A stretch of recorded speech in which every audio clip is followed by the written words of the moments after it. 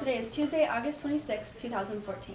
Picture Day is on this Friday, August 29th, 1st through 6th hours in the small gym for all English classes. In addition to poster board and color printing, the library will also have pencils and glue sticks available for students to purchase. The money goes back to Miss Thornton to restock the items. All senior portraits and senior ads are due on Thursday, October 16th.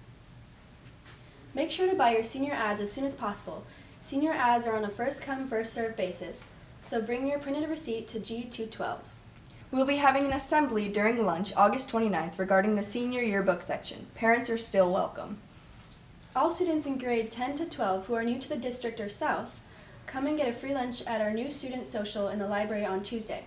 We will have prizes and a meet and greet with some staff with some of the staff at South.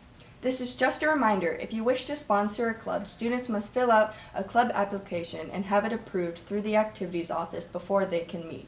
If you had a club last year you sponsored, you must the form must be updated and re-signed with this year's date for it to become active again.